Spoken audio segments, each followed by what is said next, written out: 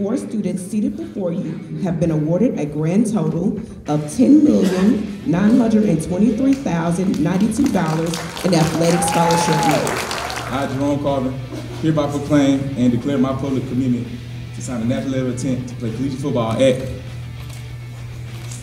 University of Tennessee at Knoxville. I woke up this morning, uh, it was Mississippi State, but then I just thought about it again, prayed about it, talked to my parents, and uh, I just felt like Tennessee was better for me. About two years ago, ninth and 10th grade, I never thought I'd be here. I never thought about college football. I, Giselle Orellana, hereby proclaim and declare my public commitment to sign a national letter of intent to play college soccer at Southwest Community College in Memphis, Tennessee.